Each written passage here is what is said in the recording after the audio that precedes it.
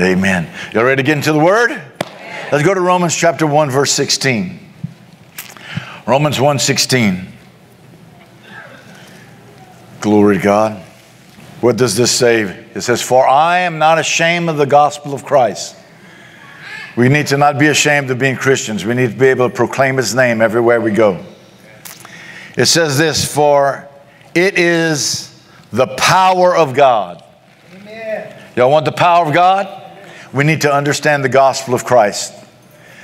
What He did for us, how He stepped out of heaven, came to the earth walked the planet Earth and healed the sick, raised the dead, demonstrated the power of God. He lived a life demonstrating the power of God. When he started his ministry, the Holy Spirit came upon him when he was baptized. It says the Spirit of God came on him, and the, uh, the voice of the Lord said, This is my beloved Son in whom I'm well pleased. And we know from uh, Acts chapter 10, verse 38, that at that point, Jesus started to go around doing good. It said how God anointed Jesus of Nazareth with the Holy Spirit and power, who went about doing good and healing all that were oppressed of the devil. For God was with him. Amen. And all of the things that Jesus did, even though he is God, the Son of God, he did as a man submitted to the Father, filled with the Holy Spirit. Do y'all understand that? He did not do any miracles until the Holy Spirit came on him because he became the example of what we're supposed to do as sons and daughters of God. If you want to have victory in your life, you need the Holy Spirit working in your life. Amen. You need to be filled with the Holy Spirit need to be baptized in the Holy Spirit. And that's another event that takes place. When you're born again, you receive everything God has for you on the inside, but then He wants to fill you and come upon you so that you have power so that you can serve Him. Power to live. Amen. You can't do it in your own strength. Amen. You know, people sometimes say, Well, I'm going to come to God once I get my life straight. You can't get your life straight without the Holy Spirit. Amen. Jesus is a fish of men. Like I always say, when I go fishing, when I catch the fish, the fish isn't clean. Right. I never caught a clean fish, always had to clean it. Right. Jesus takes you just the way you are, then he starts to change you.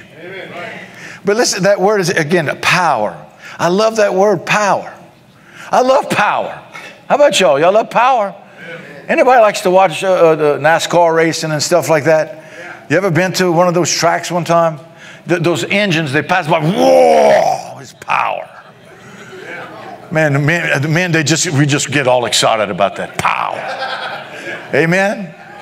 When you go to buy your truck, you, but what's in here? Four cylinder. Where's the other truck? I want some power in that truck. Where's that eight cylinder? We like power. You know what? Because power changes things. It will, nothing will change in your life without the power of God. We can try to do it ourselves. We can try to, to, to do it through psychology and through, to, through medicine and all. Thank God for all those things. But there's a time in your life when you need to come to God and receive power yeah. life changing power. When I got born again, there's a power that came into my life that changed my life forever, for eternity. And you could be sitting in here and you don't know God. Before you leave here today, you need to grab a hold of the gospel of Jesus Christ, for it is the power of God unto salvation. And I say this over and over again salvation is not just being born again, it's not just getting your ticket to heaven. Salvation is bringing you into deliverance from any addiction, deliverance from any demonic things going on in your life, deliverance from, from anything that's got you in da- danger will bring you into safety, will heal your broken heart. Amen. Will restore your broken marriage. It takes power. Come on, some of you ladies know that it takes power for your husband to change. Amen. Somebody got a good amen. but it takes power to change your wife. It takes power for your children to get, to, to get a hold of things. And we try to do it in our own strength. Listen, you can lecture your children forever, but if there's no power, Ain't nothing happening. My sons used to tell me, just go ahead and spank me. I'm tired of you lecturing. Honestly, I'll just take the licking and keep on ticking. So I just keep talking for another 30 minutes. I said, You just tired of my lecture? I'll give you some more. But you need to speak the word of God because there's power in God's word. Death and life are in the power of the tongue. See that word power? It's all over the scripture. And if we don't get a hold of of using this power, we're going to be Christians without any power. It'll be a powerless life. But there's power when you believe God. Faith filled words have power in them. Amen?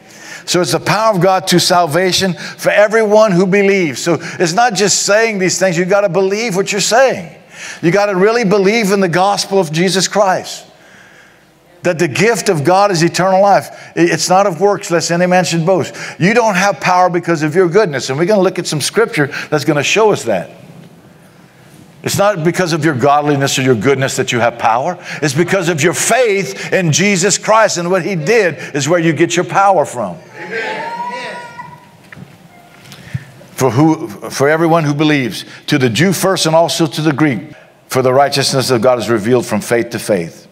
As it is written, the just shall live by faith. And faith is where you have power. Believing in God, trusting God is where the power of God comes. Amen?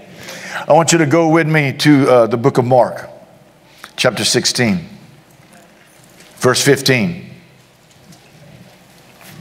Mark 16, 15. And Jesus said, it's Jesus speaking right here, go into all the world and preach the gospel. Why? Because there's power in the gospel. I'm not ashamed of the gospel. I'm going to preach the gospel because it is the power of God. You can't get away from preaching on what Jesus did for us on the cross, his death, his burial, and his resurrection. See, the reason there's power in Jesus' name is because Jesus is alive.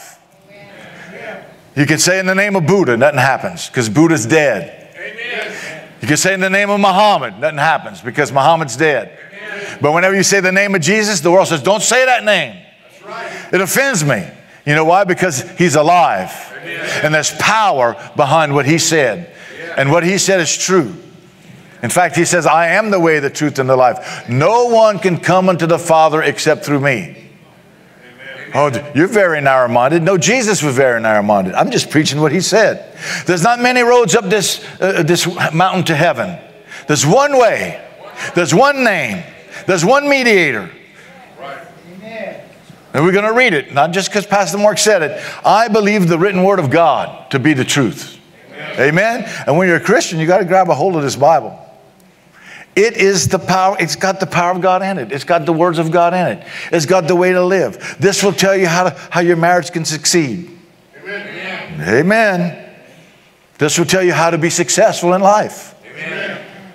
This will tell you how to raise your children. Amen. This will tell you how to act how to talk. Amen. This, this word is true. But the world and society wants to do it their own way. Oh, that stuff, that's, oh, you know, we, we can live the way we want. You know, the marriage is what the Bible says it is. I don't care what you believe. Right. I'm going to believe the Word of God. Amen. They say, well, that's a traditional marriage between a man and a woman. No, that's a biblical marriage. Amen. But we don't want to call that a traditional marriage, but that's biblical marriage. Amen? But you better be careful, Pastor Mark. You're going to upset some people. I'm not going to upset people. The Word of God may upset them. That's why they get so upset because it's not my words, it's the Word of God. Amen. But then they're going to blame me for repeating the message that Jesus Christ told us to go preach. You know, see, it gets, it gets real. Say real church. Real church. Are y'all going to get real? Amen. Does that mean I hate people? No, I love everybody. You, you got to love somebody enough to tell them the truth. Amen. Amen. Speaking the truth in love, not in condemnation. And when you speak the truth in love, there's power. When you really believe it, you're going to submit your life to it, and there's going to be power in your life to succeed. Amen. Amen. He says, Go into all the world and preach the gospel to every creature. He who believes and is baptized will be saved, and he who does not believe will be condemned.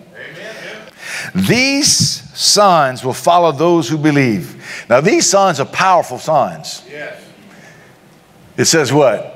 In my name, they will speak, I mean, they will cast out demons. Now, you see, in the name of Jesus, we have authority over demons. Come on. They, they, they bow their knee because of the name of Jesus. Yes. Every knee will bow and every tongue will confess in heaven, on earth, and beneath the earth that He is Lord, He is King of kings. Now, now I've said this before. You see where they put the colon it says, These signs will follow those who believe. Then it says, colon, in my name they will cast out demons. They will speak with new tongues. It could have been written this way because the translators I put those colons in there where they felt. It could say this, okay? These signs will follow those who believe in my name, colon. And we're going to find out that believing in the name of Jesus is where power comes from. Over and over in different parts of the New Testament, it talks about believing in the name of Jesus. But those who believe, it's, it's kind of the same thing. But I want you to know when you believe in the power of the name of Jesus, there's power available to you. I believe there's power in the name of Jesus. Amen? And so it says, These signs will follow those who believe in my name. They will cast out demons because they believe in my name. They will speak with new tongues because they believe in my name. They will take up serpents, and if they drink anything deadly, it will by no means harm them or hurt them. They will lay hands on the sick because they believe in my name, and they will recover. That sounds like power. Power. One of my hospice patients is at Oakmont was dying of, uh, of cancer. And guess what? We've been praying and taking care of him. All of a sudden, he don't have cancer no more. Hallelujah. He had stage four cancer that we had to release him. And, and there was a write up on, on him. The doctor said, This is a miracle. Talked about because of prayer, because of, of faith. And this man, when I met him, he was a man of faith. Amen. He spoke his faith, he believed his faith. He spoke those things that be not as though they were because he believed the word of God more than his circumstances. There's power. Yes. Amen. Amen. Dr. Egan was talking about one young man that uh, he, he, who's at the Bible college now was deaf and could not speak either. And at a crusade, he received his hearing and began, began to be able to speak. And he joined the, the Bible college. And now he can quote more scriptures than anybody else in that Bible college. Hallelujah. And he's ready to go preach because he knows about the power of God. Anybody ever heard of Kenneth Hagin? He was dying on his deathbed. And he, somebody gave him a Bible and he chose to believe what the Bible said more than what his body was telling him. And from there, God healed him, took him off of the deathbed, and he built one of the most amazing ministries of faith and healing that America has ever seen. Amen. Because he found out that there was power in the name of Jesus. Amen. There's power, guys. Let's tap into that power. It's, it's a lot more fun to be a Christian with power than just kind of lollygagging along. Que sera, sera, whatever be will be. What you going to be, the pinball in, in the devil's pinball machine? No. the world? No. God has a better plan for your life. Amen. Amen. Then he goes on, he says in verse 19 and 20, he says, So then, after the Lord had spoken to them, he was received up into heaven and he sat down at the right hand of God. Guess where Jesus is? He's seated at the right hand of, the God, of God. He is our mediator, he's our intercessor. Amen. And the power of God flows through what he did, accomplished for us on the cross. And now he's here by the power of the Holy Spirit. The Spirit, the Holy Spirit is the Spirit of the Father and the Son that's in your heart right now, that's in this church right now. And he says, You shall receive power. Y'all, y'all ever read that? Acts 1 8. You shall receive power. Say power. power. Come on with me. Say power. power. Ooh, I like that. Now y'all getting power. See, uh, start rumbling. Man, whenever I was 15 years old, I bought my first truck, a Chevy 350. It barely would go. Then I started learning about how to put headers on it. Put some headers on it, put me a, a, a, a Holley carburetor and aluminum intake Change the lifters in it. Amen. Put that cam in it and make it do power. Woo! I like that power. And so when at 15 years old, I, I, was working at 15. I bought that truck. Daddy didn't buy that truck. Come on, young people, say hallelujah. hallelujah. I was working since I was 12 years old. Amen. Amen. I couldn't do much at 12, but I was working. Amen. The feeder pig cell. Anybody know what a feeder pig cell is? You go buy pigs over there. You know what we'd do? We had to separate the pigs. We, young boys would go and we'd handle pigs all day long. But we'd end up at the end of the day with about $20. And let me tell you, in 1972, $20 was a lot of money for a little boy. Amen? But I used to love that power. So on the way, whenever I drive to school, drive to school, every time I turn in front of the school, I always, y'all know what catching second is? Y'all want some? Had them sidewinders on it. How many of y'all remember those days? Hallelujah. With that power. How about Christianity with a little bit of power? Make you smile. Amen. Amen. I like vehicles that got power. Anybody else is on my team about that? When you want to pass somebody on the highway, don't you like a little power in there? Whoa. Then, then downshifting three times. I don't know if I'm going to make it. I have to pull back around. No, no power. And that's how, that, that's how some of y'all Christian lives are now. You're trying to outrun the devil and you, you need a tune up. I want to tune you up today. Amen? Let God tune you up today. Believe. Believe there's power. Believe in the name of Jesus. And it says, and he went out, and they went out preaching everywhere, the Lord working with them. Now, I like that. To what? Confirming the word through accompanying signs. Amen. Anybody need a healing this morning? Receive your healing in the name of Jesus. There's power to be healed. Walk in Jesus' name. Headaches, if somebody's struggling with headaches, I rebuke that headache right now. I, I pray that that pain will leave your body right now in Jesus' name. There's power. He bore our sickness. He took our pain upon his own body on the cross. And by his stripes, you are healed. Amen. Well, I don't know if that's going to work for me. Well, it won't. Doubt, unbelief is going to stop it from working. Amen. Let's go to uh, 1 Timothy chapter 2. Glory to God. Doing all right this morning? All right. I'm preaching my own self happy. Faith comes by hearing and hearing by the word of God. And when there's power, that makes me excited. I'm happy when there's power. Whew. Let's start with verse 1. For those that were here Wednesday night, we're going to get a little bit of recap. It's all right with you? Wasn't that good Wednesday night? Woo! For those that wasn't here Wednesday night, I hope you enjoyed uh, America Got Talent or whatever you stayed home and watched. I know some of y'all were working or whatever. I'd encourage you to come and like eat on Sunday morning some spiritual food and come on Wednesday night and get you some more spiritual food. Amen? Amen. Glory to God. Therefore, I exhort you, first of all, that supplication, prayer, intercession, and thanksgiving uh, be made for all men. We're to pray for everybody. For kings, pray for your uh, kings and all who are in authority. Why? So that we can live a quiet and peaceable life. You want to have peace and quietness? We need to be a church that prays for our leaders. Amen. Amen? All the crazy stuff going on in our world, we want peace in our house. Yeah. He says, with all godliness and reverence. For this is good and acceptable in the sight of, the, of, God our Savior. God likes this when we pray for, for our authorities and pray for one another. Who desires all men to be saved and come to the knowledge of the truth. He wants everyone to be saved. Do y'all see that? He says, all men to be saved and come to the knowledge of truth. The only way they can come to the knowledge of the truth is if somebody preaches the truth. And the world hated Jesus, and it's going to hate us too when we preach the truth.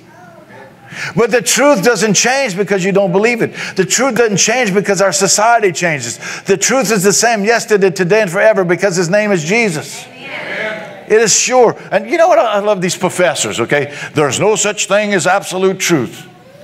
You know what I always say to them? Are you absolutely sure about that? You're making a statement like you're that your, your, your truth is absolute, but you're going to tell me there's no such thing as absolute truth? You contradict your own, your own speech. Amen. Amen. No, there is an absolute truth, and his name is Jesus. And he has given us his word, and his word does not change. His name is Jesus, and you know what the Bible, the psalmist actually said? His, he's exalted his name above every name, but he's exalted his word above his name. Because the word of God is what actually gives us power in the name of Jesus. Because the word says there's power, there's power. Do you understand his name is a word? Jesus, Savior of the world? That's what his name means. There's power in the name of Jesus. Jesus is so powerful, guys. Uh, and I, I said this Wednesday night, and I hope it grabs a hold of you. Do y'all realize that man did not kill Jesus? There was no man that killed Jesus. He laid his life down. He says, I have the power to lay down my life and I have the power to take it up again. He so loved us, he laid his life down. Amen. The ones who were killing him didn't even know that they were fulfilling uh, what God had told them to do. He said Jesus was crucified by the high priest, crucified by the Romans. But crucifixion isn't what killed him. That's right. He was on the cross and he said, It is what? Finished. I've done my work. Father, I'm giving up my spirit. Into your hands I commit my spirit. And he breathed his spirit last. He wasn't going until he was ready to go. Y'all understand that? That's how powerful he is. And then he dies because he already knows I'm going to come back. I'm going to cleanse the temple. I'm going to forgive the sins of my people through the cross. And there's no other name under heaven given among men by which we must be saved but the name of Jesus. Yes. Amen. It's in His name we have remission of sin. Yes. Acts chapter 10. His name, believing in His name. So He dies. And I know some people say he died, he went to hell. No, it says he said to the thief on the cross, he said, Today I will be with you in paradise. When he died, he went to paradise. Okay? He put the blood on the mercy seat of God to forgive all of our sins, to prepare the temple. Because that's what he said. The temple's going to be torn down, but I'm going to raise it up in three days. He wasn't going to rebuild the temple in Jerusalem. He was going to rebuild this temple, the body of Christ, us. That we now have the ability for God to move back on the inside of us because our sins are forgiven. Your heart, okay, is the Ark of the Covenant now. Yes. Your heart is the throne of God. Yes. You always realize that? Your, your, your spirit man that's, that's, the, that's where God dwells. Your spirit and God's spirit become one. Your soul, your mind, your will, your emotions. That's like the holy place in the temple. And then the outer court is your body. Your body is the temple of the Holy Spirit. He does not dwell in temples made with hands anymore. Read the book of Acts, chapter 17. Amen. It's powerful. When He died on the cross, it was for us to be forgiven so that now He can move back into His dwelling place. Because when Adam sinned, he lost that life. He was, he was separated from God. So if you don't know Jesus, you know what's happening in your life? You've got a hole in you so big that only God can fill it. Amen. Before you leave here, you need to say, God, move on in. And you know what? He says, You don't belong to yourself anymore. You'll belong to Him because He's going to buy you. It says he, you've been redeemed by the blood of the Lamb. Redeemed means to be purchased back by the blood, not with silver and gold or things that men call precious, but with the precious blood of Jesus. Oh, the blood of Jesus. Whew. A blood covenant. He took my old wretched blood, filled with sin, death. You know, the Bible says there's none good, no, not one, Romans chapter 3. And then he gave me his blood and washed me cleanse me. Now God calls me a son. He calls you sons and daughters. Because you know what? I can rejoice because my name is written. he wrote my name down in the book of life. It says in the book of Luke, it says they came back, they said, We rejoice because demons are subject to us in your name, Jesus. He said, I give you power to trample on serpents and scorpions over all the power of the enemy. And nothing shall by any means hurt you when you believe. Come on. When you walk in the power of God, that's power. Amen. But he says, don't rejoice because spirits are subject to you in my name. He says, rejoice because your name is written in heaven. Yes. Is your name written in heaven? Yes. Well, I don't hear nobody rejoicing when you know, hallelujah. hallelujah. We rejoice because we're, our names are written in heaven. Glory to God. Man, I barely got down on this. It says he desires that all men be saved and come to the knowledge of the truth. So if you can think of some bad dude or some person that's living in sin or, or girl that's doing crazy stuff and all that, guess who's gonna who can still save them? Jesus. Did he save you? Did he save me? Then he can save anybody. Come on. I love it. He talks about Mary Magdalene. Uh, every time you mention Mary Magdalene's name in the New Testament, Mary Magdalene, in whom Jesus cast out seven demons. In case y'all didn't know, she was demon possessed. Amen. Amen. And then a little later, it says, Mary Magdalene, who went to the tomb, in whom Jesus cast out seven demons. We just want to remind you that Jesus changed your life. Yeah. And if Jesus can change her life, Jesus can change your life. Amen. Peter, and who denied him three times.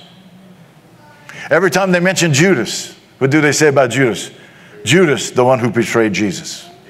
Even in the story before he betrays him, when they mention his name, they, always, put in there the one who betrayed Jesus.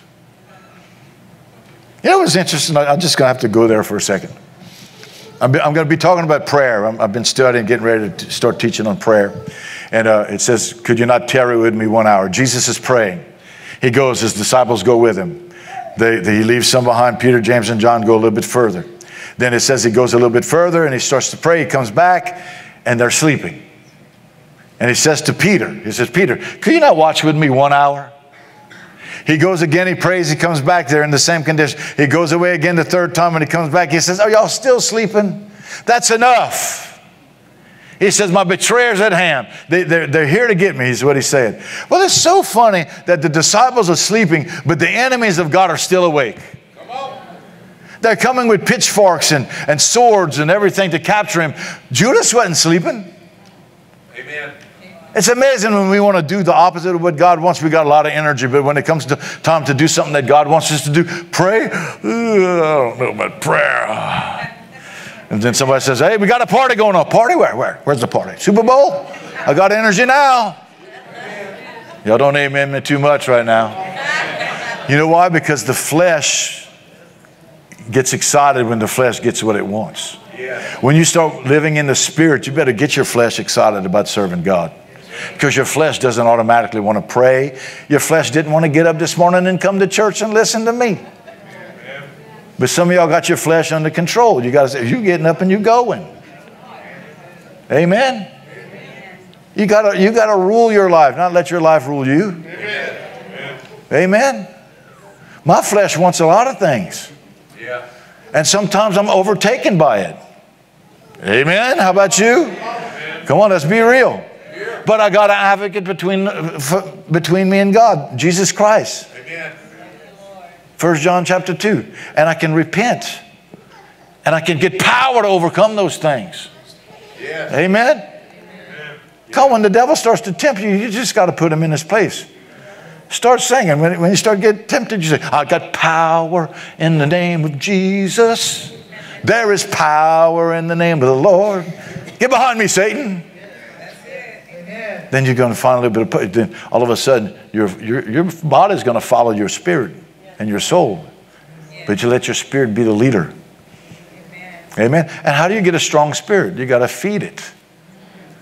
Amen. When you can watch 30 hours of television and you only get two hours of church a week, hmm. Come on. And now you don't have to watch TV. We've got them cell phones. Look at your screen time, see how much time you spend on a cell phone. And, and, and you know what? It's separating us from being in one accord, too. Amen. We're, we're not communicating. Uh, this generation coming up, they don't know how to, to communicate face to face. It's, it's, it's, they, they'll just stay in a room and talk to whoever they want to on their phone. And sometimes you don't know who they're talking to. That's a whole other su- subject, though. Okay, now we, we finally get into it right here. Look at verse 5. For there is one God and one mediator between God and man men. The man Christ Jesus. Now, in case you don't know which one that is, it says, who gave himself a ransom for all to be testified in due time. There is what? One God. Go back to that scripture. I want you to see that. This is the Word of God. People said, well, Jesus Christ never said, he, the Word of God never said Jesus Christ is God. It says it right here. There is one God and one mediator between God and men, the man Christ Jesus. Amen. If you don't believe Jesus Christ is God, then you're not a real Christian. Amen.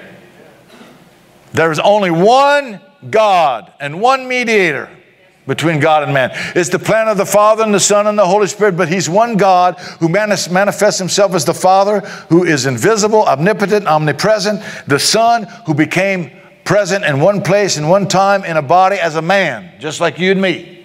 Amen. Amen. We're created in the image and likeness of the God man, Jesus Christ. You're not in the image of the Father. You, you, you can't be uh, uh, you know, omnipresent. That's right.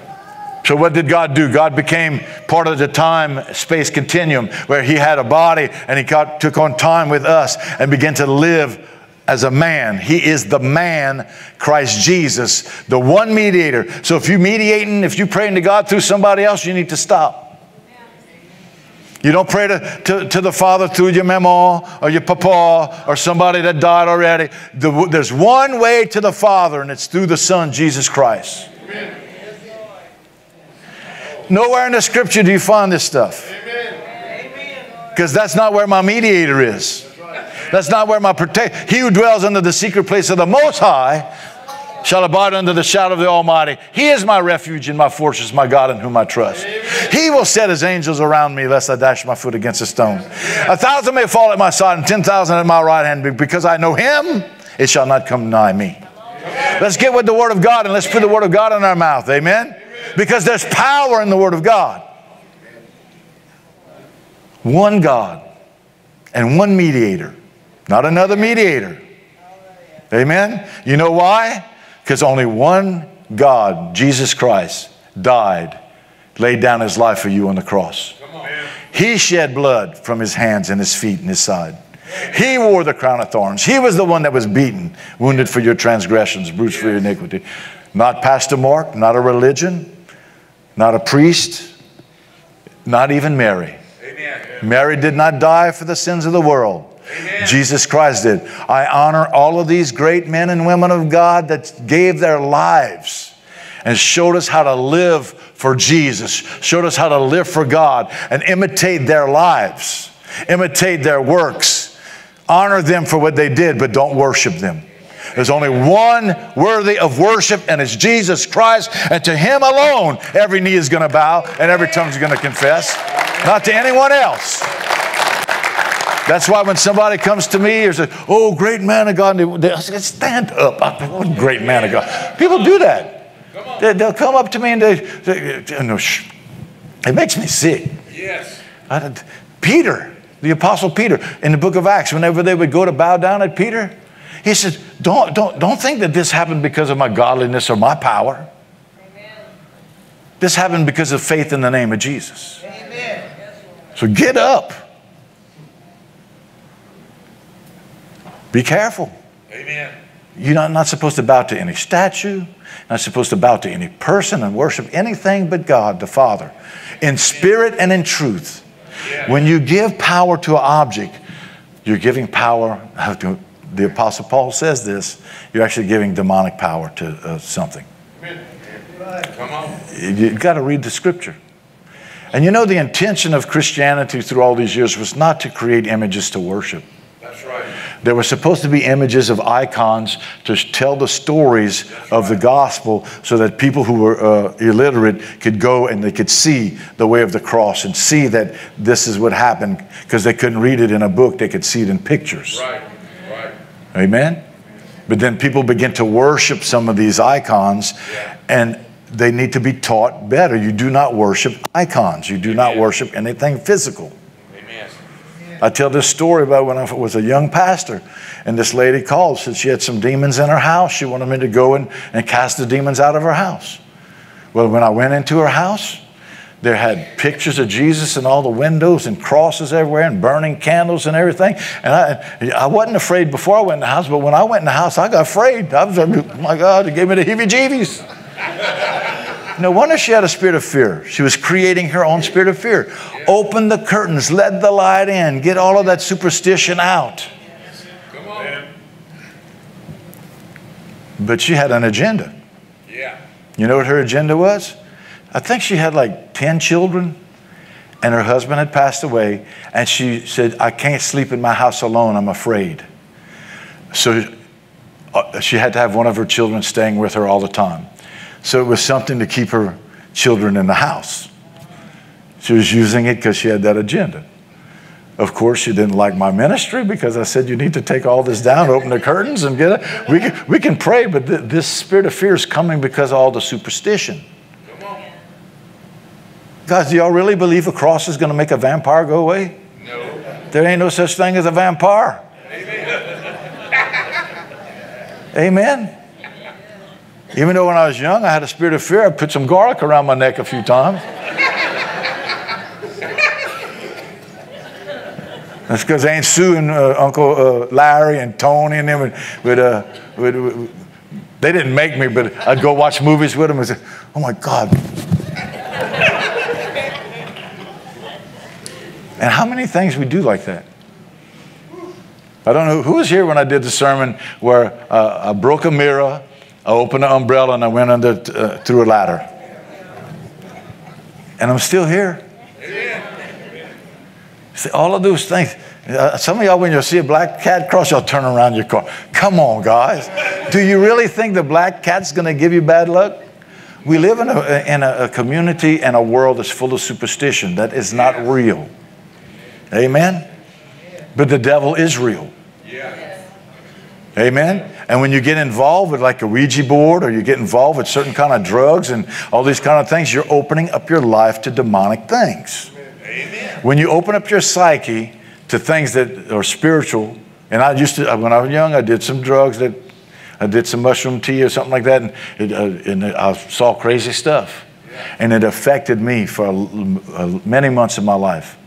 In fact, I, I- because of a bad trip, I was walked away from all that kind of stuff and I started to look for God, and, and God found me as I was looking for Him Amen. and my life changed. And I realized I had to repent of all that because I'm trying to have a spiritual experience without God. And the devil will give you an, a spiritual experience if you want one. Oh, yeah. Sure will. That's for somebody up in here. Amen. Glory to God. Oh, you're going to have to come back next week. I didn't even get to my main scripture yet. I, I will uh, just close with teasing you with it. Let's go to the book of Acts in chapter 3. Look at verse 6. There's a lame man at the gate, and he needs healing. He's begging for, for alms. And then Peter said, Silver and gold I do not have, but what I do have I give you. In the name of Jesus Christ of Nazareth, rise up and walk. Power. You know what happens? He immediately receives strength in his feet and his ankles, and, and he begins to leap and praise and worship God. And everybody recognized this is the man that was laid at the gate. They knew this was a genuine miracle.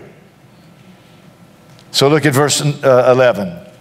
Now, as the lame man who was healed held on to Peter and John, all the people ran together uh, to them in the porch, which is called uh, Solomon's Greatly Amazed. And it says they were filled with awe and wonder before that. So when Peter saw it, he responded to the people, Men of Israel, why do you marvel at this? Or look so intently at us as though by our own power and godliness we have made this man to walk. He's saying we didn't make this man to walk. There's power in the name of Jesus. That's what made this man to walk. So come back again. We're going to get into this whole story because this story teaches us exactly how powerful it is when you really put true faith in the name of Jesus. Come on up, worship team.